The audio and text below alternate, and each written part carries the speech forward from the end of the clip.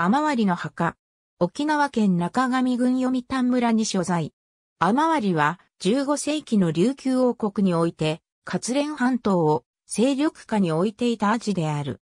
茶炭間切やら村出身。幼名はかな。活連城主。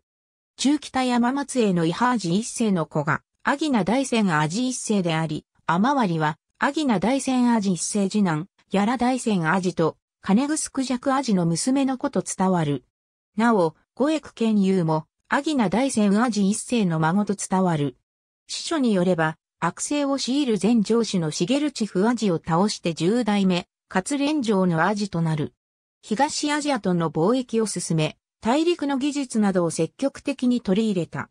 勢いを増す雨割りに第一直し王党の第六代国王、小安久王は娘である百度、東上げを妻にめとらせ、怪獣策を取り、同王の娘婿の立場になった。当時琉球では、麒麟寺との評判が広まり、首里の直しは叔父である小佐丸の次に滅ぼす計画を練る。司書によれば、首里城攻略を計画していたとされる中条城主の五佐丸を王の命令で攻め、忠誠の証として自陣させた。